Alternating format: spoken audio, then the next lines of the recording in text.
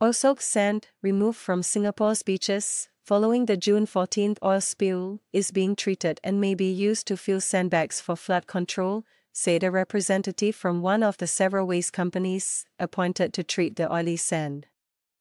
Ms. Ernie Mosnita Mohammed Anis, Sales and Business Development Manager at Mencast Offshore and Marine, said tests will be done on the treated sand to assess its safety, but the final decision on what the sand will be used for depends on its owner.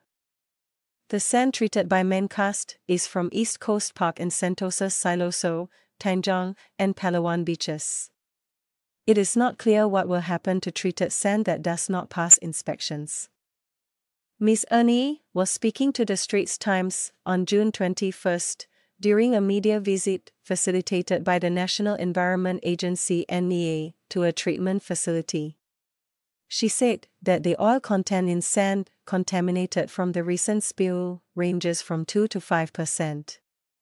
For the sand to be considered successfully treated, the oil content has to drop to about 0.1%. Treated sand, despite being safe to touch, may still appear to be stained black.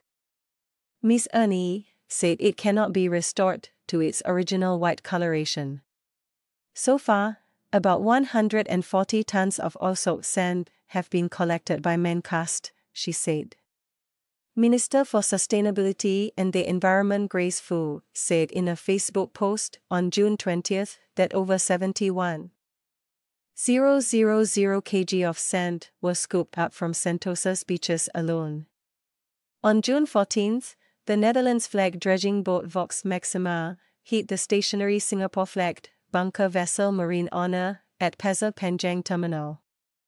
Which resulted in a 400 ton oil spill that has since tarred the beaches of Singapore and Malaysia. Intensive cleanup efforts have been underway, though eliminating all traces of the low sulfur oil spilled may prove to be a long term undertaking. Despite a week of cleanup efforts, the foreshore in East Coast Park remains marked by streaks of oil on June 20th.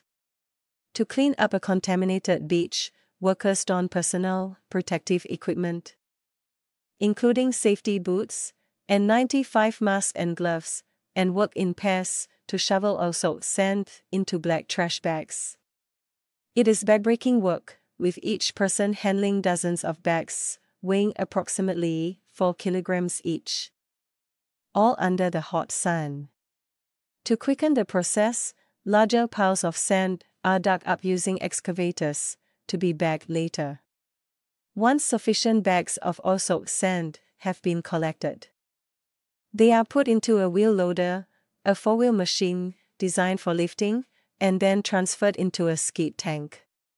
The tank, which is attached to a hook lift truck, allows for waste to be transported to toxic industrial waste facilities, such as Mencast. Ms. Ernie said treatment efforts at the Mencast plant began on June 20th. The skid tanks were deployed to beaches on June 17th and have since been depositing the collected sand at the plant. Oil-soaked sand, first bagged by NE appointed contractors at the various beaches, must be unbagged manually at the Mencast facility before the start of the treatment process. Workers wearing gloves, goggles, and work boots must physically cut through such bags to feed the contaminated sand through the facility's treatment systems. Large plastic and wood sediments are also removed during this process to be incinerated. As at June 21, about 30% of Mencast's workforce, comprising about 60 people, have been allocated specifically to waste processing efforts following the oil spill. Sand samples are also taken to the laboratory for contaminant testing to determine the required treatment temperature and duration. The contaminated sand is then transferred to a shaker system, which filters out coarser debris, such as rocks and plastic shards, from the sand to be compressed. This is so that the particles are the same size as the sand grains. To ensure that all the oil can be effectively vaporized during treatment. The oil-soaked sand is then sent to be heat treated.